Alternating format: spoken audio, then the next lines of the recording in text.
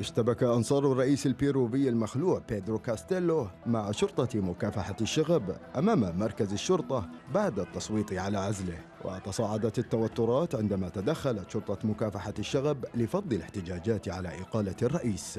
وأعلنت النيابة العامة في البيرو أن الرئيس المعزول والموقوف متهم بالتمرد على قوانين البلد.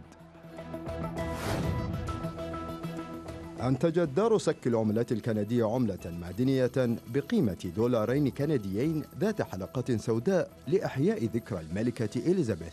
وقالت إنه سيكون هناك ما يقرب من خمسة ملايين قطعة نقدية من هذا القبيل ستبدأ في الظهور بالتدريج مع قيام البنوك بإعادة تخزين مخزوناتها من العملات كما سيتم تداولها لأول مرة في وقت لاحق من شهر ديسمبر.